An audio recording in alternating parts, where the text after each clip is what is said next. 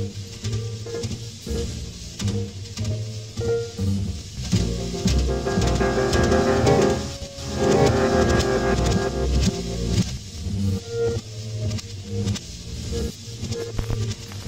don't feel like myself and I feel good.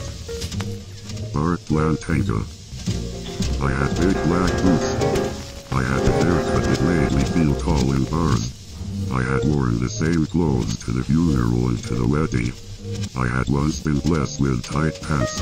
I had dinner at 6. I had pictures of motorcycles.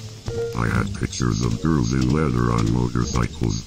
I had seen the movie so I could talk about it. I had waited a long time for this moment. I had to do it.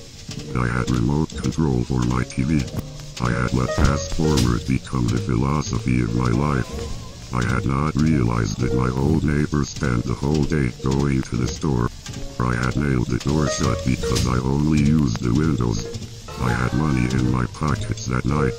I had dealt with noise in a less than satisfactory manner.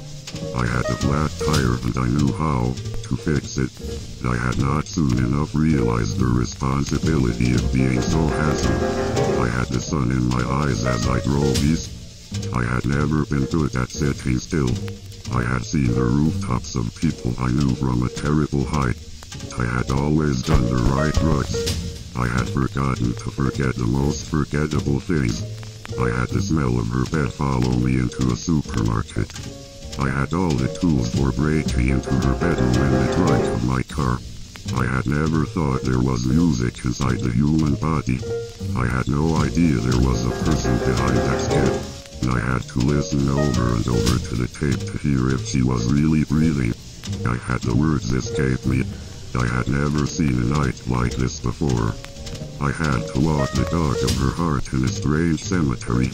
I had seen the emotionally disturbed patients being treated. I had been involuntarily admitted to the municipal hospital. I had watched the numbers increase sharply. I had to watch the decline of civilization from the smug fit of my suit. I had seen the sudden temper of bank machines. I had seen vending machines turn coke cans into projectiles. I had seen gas pumps attack garage hands up. I had seen the drawbridge open on its own. I had seen the volunteers hand out 3,208 pound bags of ice to the victims. I had seen the warning sign say, use under close adult supervision.